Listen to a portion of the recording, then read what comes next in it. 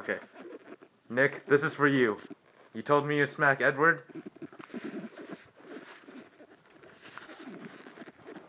He locked the door. He locked himself in your room.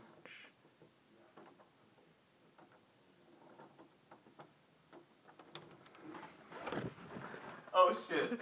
Hey Sean. Oh, what the hell? There's no lock. What's up, Edward?